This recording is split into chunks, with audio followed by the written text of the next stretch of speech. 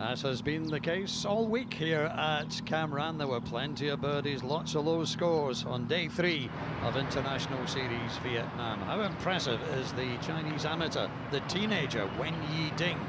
This is second into the final hole.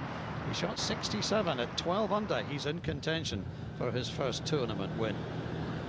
Wawrinka Pradit shot a splendid 30 on his front nine.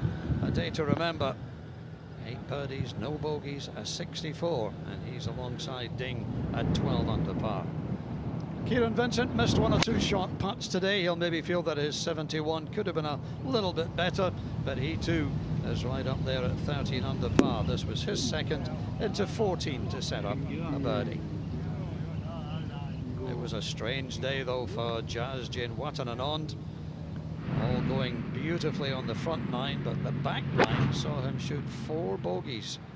This, though, at the 16th made him feel a little bit better on his way to a 71. 14 under for Jazz Janewattananond. Kevin Yuan of Australia has yet to win on tour. Tomorrow could be his day, though. This at the 17th was his sixth birdie of the day. Didn't have a bogey in the car, 66. 14 under par. But the man they've all got to catch is Takumi Kanaya of Japan, who's already won an International Series event in Oman. This a putt for Eagle at the sixth, following what would be his only bogey of the day at five.